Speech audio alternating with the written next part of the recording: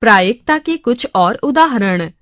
उदाहरण, एक बैग में पाँच लाल गेंद, आठ सफ़ेद गेंद, चार हरी गेंद और सात काली गेंद हैं। बैग में से यूँ ही एक गेंद निकाली जाती है।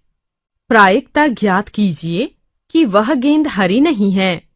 हल, हम जानते हैं, लाल गेंद बराबर पाँच, सफ़ेद गेंद बराबर आठ।